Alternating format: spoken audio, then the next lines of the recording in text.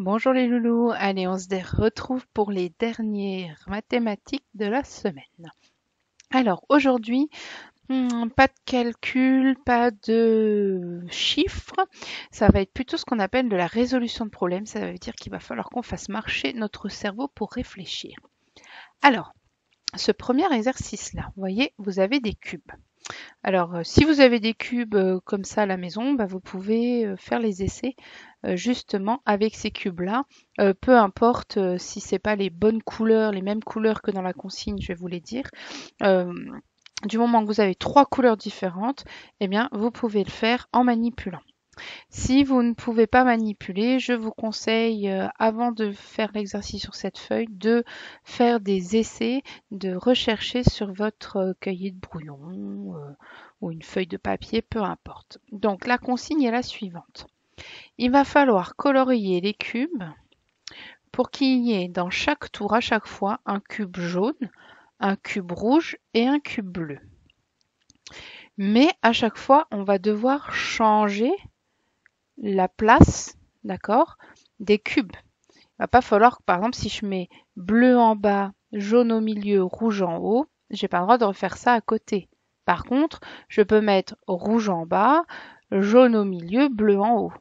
Donc il faut que vous cherchiez toutes les possibilités voilà, qu'on a avec ces trois cubes de couleurs, donc le jaune, le rouge, le bleu, pour faire des tours différentes, mais toujours en ayant ces trois couleurs.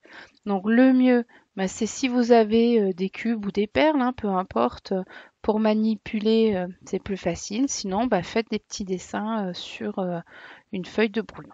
Voilà. Ici, vous avez des phrases que va falloir qu'un grand vous lise, papa, maman, un grand frère, une grande sœur.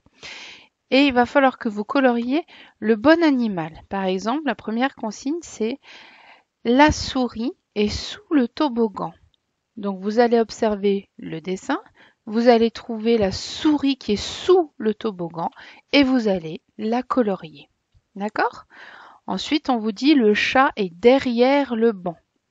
Vous cherchez où est le banc, vous cherchez où est le derrière du banc et donc le chat qui s'y cache, hop, on le colorie, etc. pour toutes ces phrases. D'accord Si vous le souhaitez, pour euh, l'exercice là avec les petites tours, vous pouvez m'envoyer en photo euh, euh, via Éclat ou via la boîte mail. Si vous n'êtes pas encore connecté avec là, vous pouvez m'envoyer vos résultats, voir si vous avez réussi à tout bien trouver. Allez, dernière page.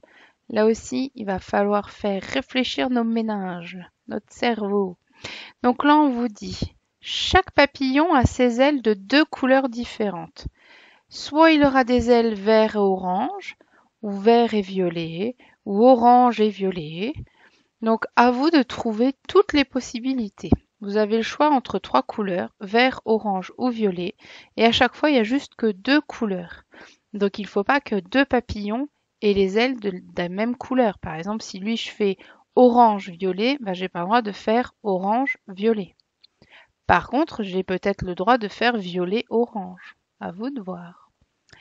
Ici aussi, on vous dit réalise le plus de glace possible, sachant que chaque glace a deux boules différentes et qu'il y a trois parfums. Donc pareil, il faut colorier les boules de glace.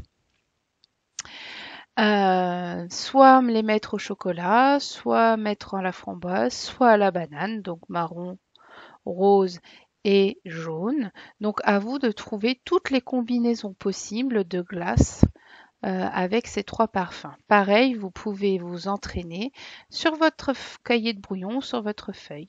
Voilà, à bientôt